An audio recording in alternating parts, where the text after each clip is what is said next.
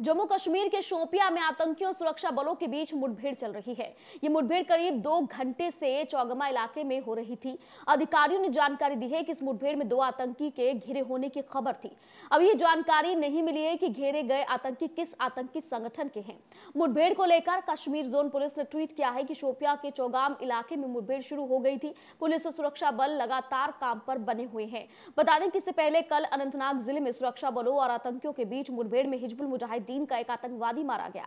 Police ने बताया कि वो एक पुलिस निरीक्षक और भाजपा कार्यकर्ता और अन्य की हत्या में शामिल था। पुलिस के एक प्रवक्ता ने बताया कि ज़िले के अरवानी इलाके के मुमनहाल गाँव में आतंकियों की मौजूदगी की खुफिया जानकारी मिलने के बाद सुरक्षा बलों ने घेराबंदी कर तलाश अभियान शुरू किया था। पुलिस ने कहा कि तलाशी अभियान के दौरान आतंकवादी की मौजूदगी का पता लगते ही उसे आत्मसमर्पण करने के लिए कहा गया। बहरहाल उसने आत्मसमर्पण करने से इनकार कर दिया और सुरक्षा बलों पर गोलीबारी शुरू कर दी।